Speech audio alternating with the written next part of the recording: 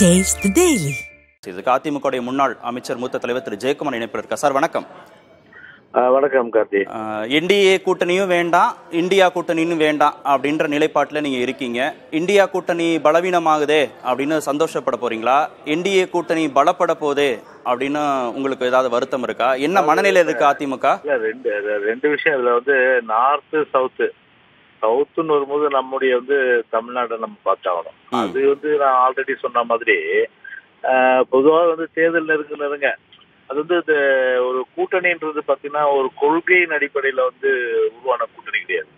ஒரு கொள்கையினுடைய அடிப்படையில உருவான கூட்டினா அது வந்து எவர் லாங் வந்து பார்த்தா அது வந்து நீடிச்சு நிற்கும் இந்தியா கூட்டணியை சொல்றீங்க. இந்தியா கூட்டணி அதே போல இங்க இருக்க கூட்டணி தான் அந்த விஷயத்துக்கு வரேன் நானு.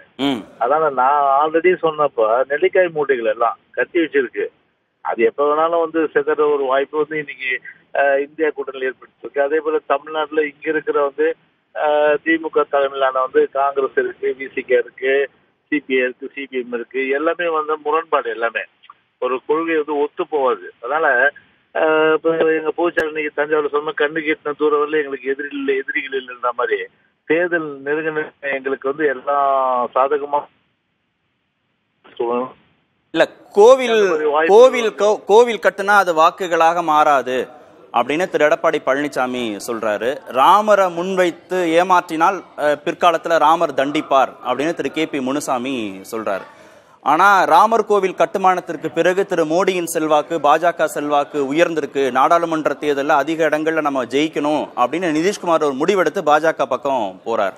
அந்த மாதிரி எண்ணம் உங்களுக்கு இல்லையா? பாஜக வேணும் மோடி வேணும் செல்வாக்கு வேணும்னு ஒரு எண்ணம் உங்களுக்கு இல்லையா? அதுதான் அதுதான் நான் சொல்லிட்டேன். வடக்கு வேற தெற்கு வேற. தமிழ்நாட்டுல வந்து பாத்தீங்கன்னா அந்த பிஜேபி எல்லாம் கால் ஊன முடியாது.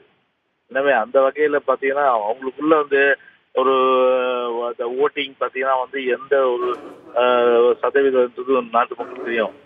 ஒரு- நாலு மூணு நாலு பர்சன்ட் அவ்வளவுதான். அதுக்கு மேல அதே போல தேசிய கட்சிகள் பொறுத்தவரை தமிழ்நாட்டுல வந்து அது அறுபத்தேழோட முடிஞ்சுது. இனிமே வந்து பாத்தீங்கன்னா தேசிய கட்சிகளுக்கு தமிழ்நாட்டுல இடம் கிடையாது. அந்த வகையில நீங்க அதையும் இதையும் நீங்க வந்து ஒப்பிட முடியாது கார்த்திக். ஓ. ஆனா ஒரு விஷயம் என்னன்னா வந்து பாத்தீங்கன்னா இது வந்து இப்போ வந்து ஒரு ஒரு இந்த ரீதியில இது ஒரு இந்த கூட்டணியில வந்து இந்த மாதிரி ஒரு விரிசல் ஏற்பட்டு நிதிஷ் தனியா வரும்போது இப்ப தமிழ்நாட்டிலயும் அந்த மாதிரி சூழ்நிலைகள் வர்றதுக்கு வாய்ப்புகள் உண்டு. அதுதான் நான் சொன்னேன். தேர்தல் நெருங்க நெருங்க நோ எனிமி நோ ஃப்ரெண்ட்ஸ் அந்த மாதிரி பார்த்தீங்கன்னா அந்த கூட்டணியில இருந்து நிறைய பேர் பிரிஞ்சு வர்றதுக்கு வாய்ப்புகள் இருக்கு. வாய்ப்புகள் வரும்போது பார்த்தீங்கன்னா நீங்களே பார்ப்பீங்க. அது அதான் தான் உறுதியா சொல்றோம். தேர்தல் இன்னும் டைம் இருக்கு. கண்டிப்பா வந்து அரசியல் மாற்றங்கள் நிறைய வரணும்னு நான் பல பேட்டிகளை சொல்லியிருக்கேன். நன்றி நன்றி திரு ஜெயக்குமார். இணைப்பில் வந்து உங்க கருத்துக்களை பதிவு செய்ததற்கு.